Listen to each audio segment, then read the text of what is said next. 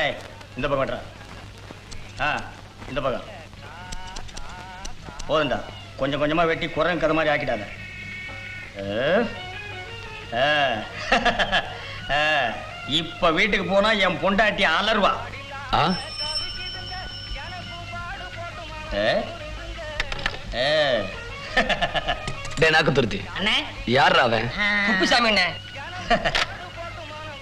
டேய் வரேன்டா. சரி வாங்கண்ணே டேய் ஏய் திரும்பு. ஆ? ஏண்டா பரதேசி? என்னை விட பெரிய மீச வச்சுக்கிட்டு நீ இந்த ஊருக்குள்ள சுத்திக்கிட்டு இருக்கவனா உட்கார்றா டேய் குளியா. கத்தி எடுத்துக்கிட்டோம் டேய் உட்கார்றா டேய் ஒரு பக்கத்து மீசை. ஏய், ஏதோ பேசுற மிதிச்சு இப்படி மிதிச்சு. நீ என்னடா நிக்கிற? நீ எடுக்கிறியா நான் எடுக்கட்டுமா? நீங்க வேண்டாங்க இவனே ஆ, எடு. எடுங்க ஆ? ஆ.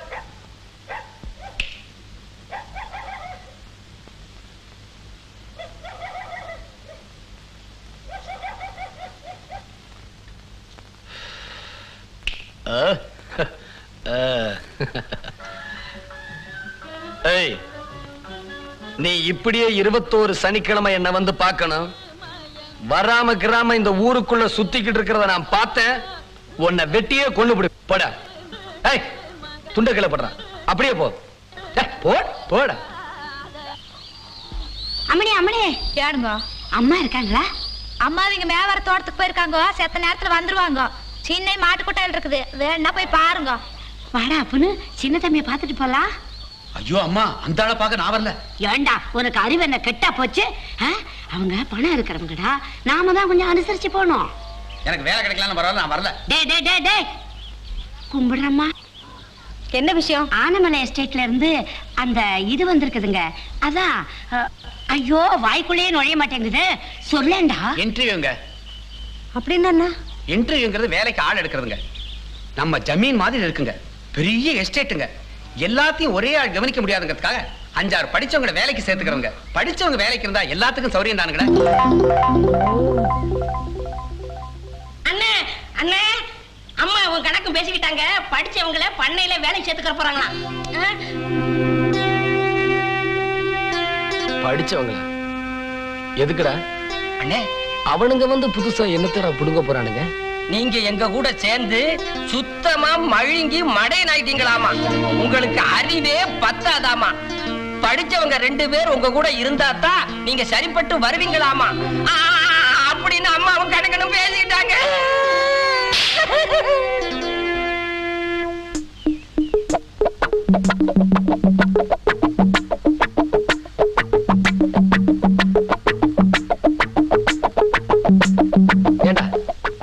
எங்க அம்மா படிச்சவங்களை சேர்த்துக்கிறதுக்கு முன்னாடி நாம சேர்த்துக்கிட்டா என்ன? நீங்க சொன்னா சரியா இருக்கும்ண்ணே நான் போய் ஊருக்குள்ள இருக்கிற படிச்சவங்க எல்லாம் கூட்டி வந்துடுறேண்ணே டேய் நில்றா. நம்ம ஊர்ல இருக்கிறவங்கள படிச்சவங்களாடா. நாம ஏதாவது ஒண்ணு கேட்டா தெரியாதுன்னு சொல்லி நைஸா நழுவிடுவாங்க. இந்தா டவுன்ல போய் பிடிச்சிட்டு படிச்சவங்களையா சேர்த்த போறீங்க படிச்சவங்கள? ஏற்றுவானா இந்த ரங்கமணி?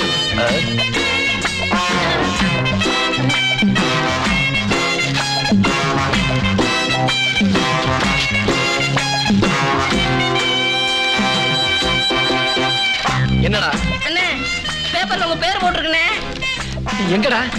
இந்த பக்கம் தான் எங்கேயோ காட்டினா. அண்ணே இந்த பாத்தீங்களா உங்க பேர் போட்டிருக்கு?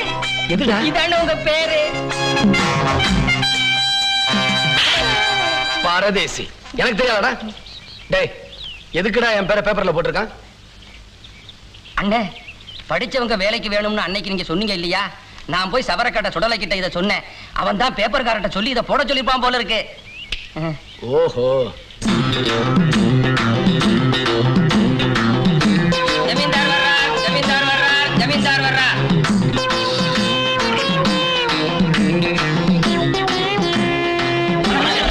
வணக்கம்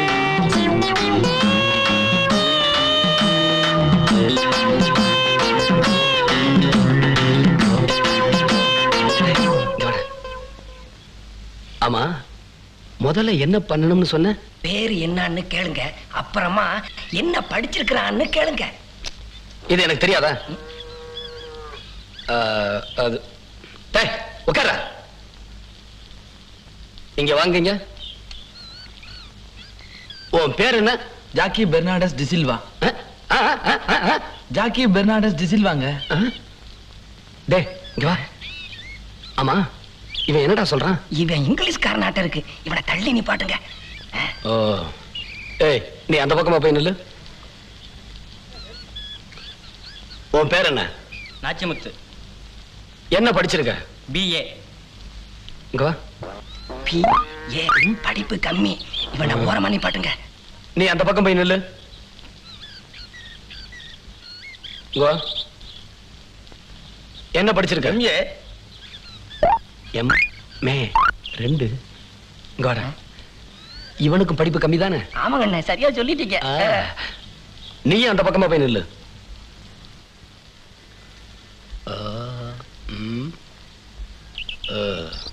ஏய் நீ வா. உன் பேர் என்ன? காத்தவராயன். அண்ணே அண்ணே என்னடா? இவரை வேலை சேர்த்துக்கலாம்ண்ணே. எதுக்குடா? இவர் பேரும் நம்ம குலதெய்வத்து பேரும் ஒன்னா இருக்குண்ணே.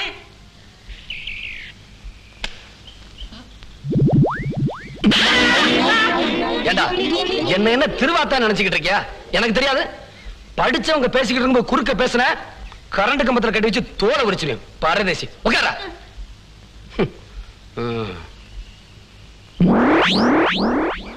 ஏண்டா எங்கடா அவன்? அவன் அப்பவே போயிட்டானே. ஆமா அவனை எவன் வேலை செத்துக்கிற போறான். ஏய் நீ வா. உன் பேர் என்ன? வரதராஜன். என்ன படிச்சிருக்க? எம்எஸ்சி? டேய். எம்எஸ்சின்னா என்னடா? நான் அப்புறமா சொல்றேன். நீங்க அவனையே கேளுங்க. ம். எம்எஸ்சின்னா என்ன? மாஸ்டர் ஆஃப் சயின்ஸ் டேய் என்னடா? பாஸ்ட் ஆஃப் லைசன்ஸ்ங்கிறான் அண்ணே பேச்ச மாத்திரம் நீங்க ஏமாந்துறாதீங்க. ஆ? முதல்ல பதினொன்னாவது படிச்சிருக்கானான்னு கேளுங்க. பதினொன்னாவது படிச்சிருக்கியா? என்ன சார்? பதினொன்றாவது படிக்காம எப்படி கூட கூட பேசாத. பதினொன்னாவது படிச்சிருக்கியா? படிச்சிருக்கேன் சார். ம் அப்புறம்? பியூசி ஒரு வருஷம். பதினொன்று ஒன்று பன்னிரெண்டு அதுக்கப்புறம்? பிஎஸ்சி மூணு வருஷம். பன்னெண்டு அது இது பதினாலு அப்புறம்? எம்எஸ்சி ரெண்டு வருஷம் பதினாலு பதினெட்டு.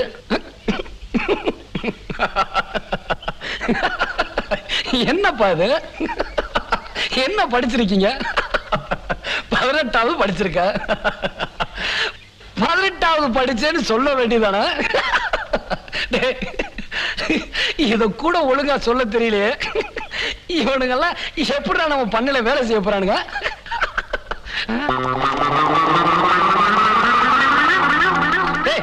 எதுக்குடா எல்லாரும் ஓடுறானுங்க? படிச்சா மட்டும் பத்தாதுங்க கொஞ்சம் அறிவும்? வேணும். ஆ, அவங்களுக்கு. ஏன் இந்த ஊர்ல இருக்கிற படிச்சவங்க எல்லாம் உங்களை வந்து பாக்குறது இல்ல தெரியுங்களா? இதனாலதான். உங்களுக்கு முன்னாடி இவங்க தலையெடுக்க கூட லாய்க்கல அண்ணே எக்ஸ்கியூஸ் மீ டேய். வணக்கம்.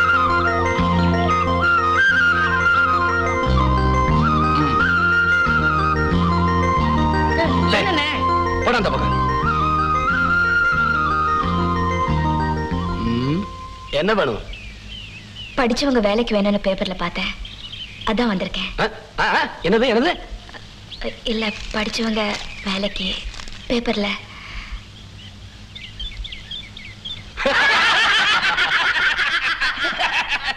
ஏய் ஏன்டா சிரிச்சீங்க? நீங்க மட்டும் தனியா சிரிச்சா அந்த பொண்ணு தப்பா நினைச்சுக்கோ அதனாலதான். பதினெட்டாவது படிச்சவங்களே நாங்க கேட்ட கேள்விக்கு பயந்து ஓடிட்டானுங்க? நீ பொம்பளை ஆ? பாவம். அண்ணே அதுவும் இல்லாம நாம ஆம்பளைங்க தானே வேலைக்கு வேணும்னு பேப்பர்ல போட்டோம். இல்லைங்க எனக்கு இங்கிலீஷ் தமிழ் தெரியும். ஷார்ட் அண்ட் டைப்ரைட்டிங் கூட தெரியும். அக்ரிகல்ச்சர் கூட படிச்சிருக்கேன். இது பாருங்க என் சர்டிபிகேட்ஸ் நீங்க என்ன வேலை கொடுத்தாலும் செய்வேன். எப்படியாவது இந்த வேலையை எனக்கு கொடுத்துருங்க. ப்ளீஸ் டா, சும்மா ப்ளீஸ் கிளீஸ் தொந்தரவு பண்ணாத. பொம்பளைங்க சொல்லி கொடுத்து கேட்கிற அளவுக்கு நாங்க ஒண்ணு மாங்கா மாட்டேங்கல பாப்பா. இது பாருங்க. படிப்புக்கு ஏத்த வேலை இல்லைனாலும் பரவாயில்ல. நீங்க என்ன வேலை சொன்னாலும் நான் செய்வேன். நான் சம்பாரிச்சு என் குடும்பத்தை காப்பாற்ற வேண்டிய நிலைமையில இருக்கேன். தயவு செஞ்சு இது உதவி பண்ணுங்க. சும்மாருமா வேலைகள் ஒண்ணும் கிடையாது. இந்தா இந்த செலவுக்கு வச்சுக்க. ஊரை பார்த்து போ. போமா போமா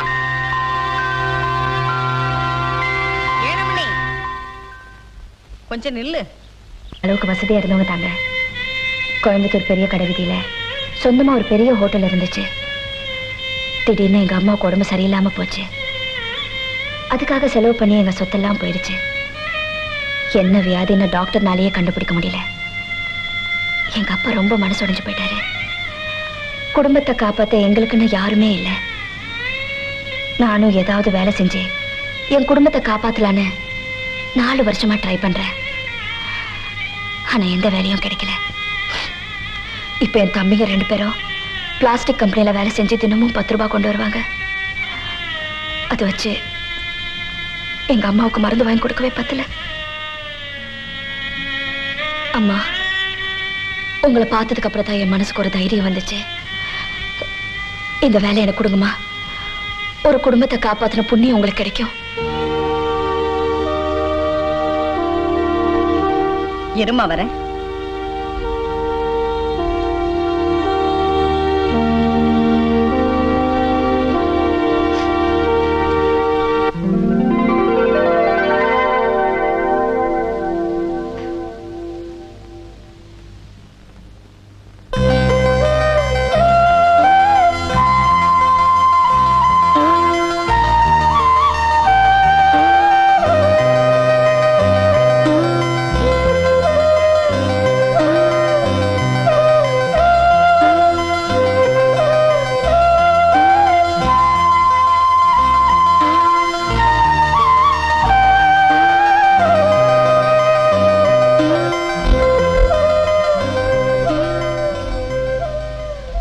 உன் பேர் என்னம்மா?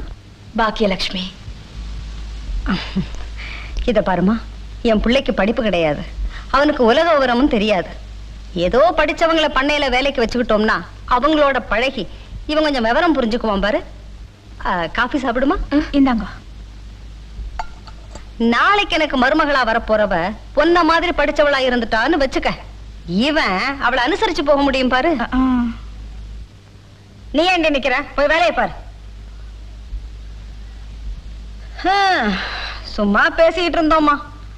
இது எப்படியோ அவன் காதுல விழுந்து யாரார்கிட்டயோ கேட்டு பேப்பர்ல போட்டான். ஆம்பளையா இருந்தா அவனை அனுசரிச்சு போயிருவாங்க. நீ பொம்பளை அவன் ஒரு முரடன் தப்பு தண்டா எதுவும் பண்ண மாட்டான்னு வச்சுக்க. ஆனாலும் அதை சரிப்பட்டு வராதுமா. இந்த இத வச்சுக்க. ஊர் போய்ச்சார் ம் நீ இதை திருப்பி தர வேண்டாம். வச்சுக்க.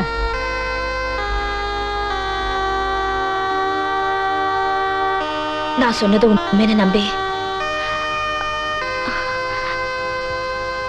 உங்களுக்கு ரொம்ப பெரிய மனசுமா. இதுக்கு நன்றி கண்ணனா அவங்கவங்க வேலையை அவங்கவங்க செஞ்சா போதுமா மத்ததெல்லாம் ஆண்டவன் பாத்துக்குவான் சத்தியமா இந்த பணத்தை என்னால திருப்பி கொடுக்க முடியாதுமா. உங்க மகனை பத்தி உங்களுக்கு எவ்வளவோ ஆசையா இருக்கு. அதுக்கு என்னால ஏதாவது செய்ய முடியுமான்னு பாக்குறேன். முடியலன்னா நான் போயிடுறேம்மா. தயவு செஞ்சு இந்த வேலைக்கு வச்சுக்கோங்கம்மா. ப்ளீஸ். சரின்னு சொல்லுங்க.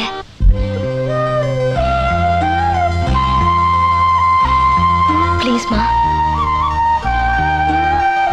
இத பாருமா. பணத்தை கொண்டு போய் வீட்டுல கொடுத்துட்டு உன் துணிமணி எல்லாம் எடுத்துக்கிட்டு வந்து சேரு. ஆ? ஆ, ஒரு முக்கியமான விஷயம். அவனை திருத்துறேன்னு அவசரப்பட்டுடாத. அவன் என்ன செய்யறான்னு கொஞ்ச நாளைக்கு வேடிக்கை பாரு. ஆ?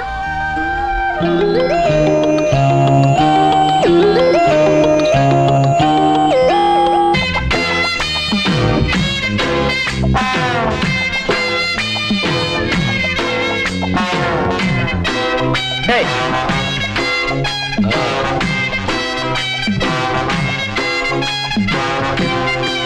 டேய் அங்க வர்றது யாரா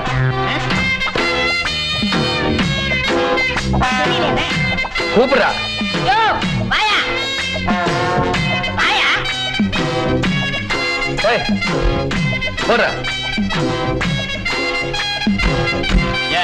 என்ன விஷயம்? டேய் எதுக்கு? எந்த ஊரு? கரெக்ட் கரட்டூரா? தீக்கட பாலனை பார்க்க வந்தியா?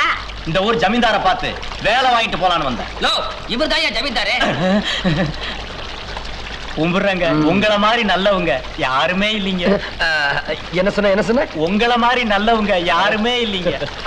பாத்தியா? இன்னொரு தடவை சொல்லு. உங்கள மாதிரி நல்லவங்க யாருமே இல்லைங்க. இன்னொரு தடவை சொல்லு. உங்கள மாதிரி நல்லவங்க யாரும் இல்லைங்க. இன்னொரு தடவை. டேய் சொல்ற. பரதேசி கரண்ட் கம்பத்துல கட்டிச்சு தோலை உரிச்சுன சொல்றா.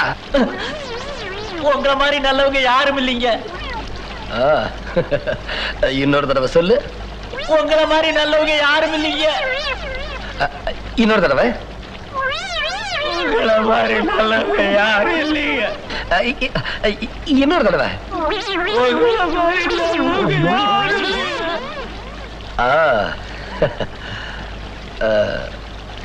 என்ன வேலை கொடுத்தா செய்வ எந்த வேலை கொடுத்தாலும் செய்வேன். இந்தா இத வச்சுக்க. முதல்ல சொன்னேல அத சொல்லு. எந்த வேலை கொடுத்தாலும் முதல்ல சொன்னேல அத சொல்லு. உங்கள மாதிரி நல்லவங்க. அதானுங்களா ஆ, அதேதான். குடிங்க. இந்த வேலையா வேண்டாம் சாமி. ஆள டேய், டேய், டேய். டேய், டேய், டேய்.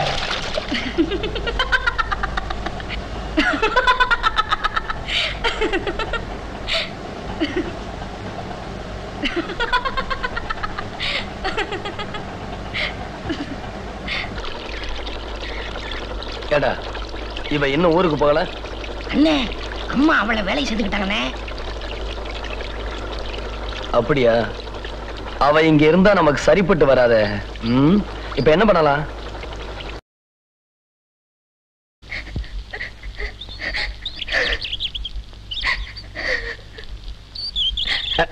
டேய் அழுகுறாடா. இப்ப என்னடா பண்ணலாம்? அண்ணே ஓடிடலாம்ண்ணே ஆமாண்ணே ஓடிடலாண்ணே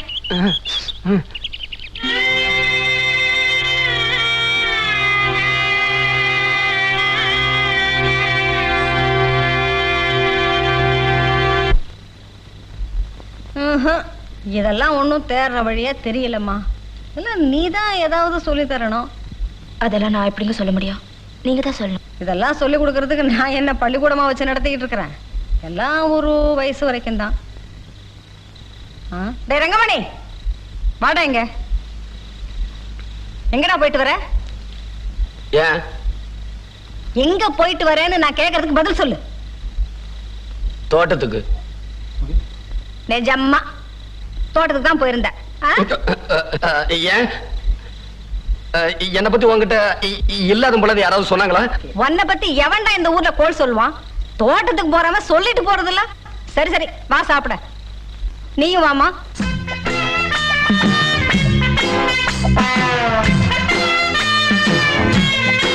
எங்க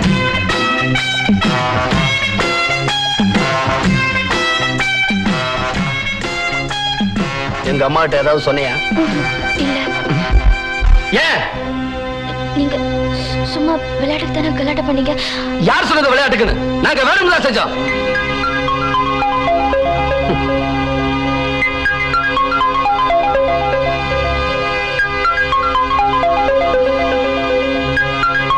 ஐயா ஐயா. யார் அது? கும்பிடுறேங்க. ஓ நீயா? சரி சரி. போயிட்டு அடுத்த சனிக்கிழமை வா. Uhum.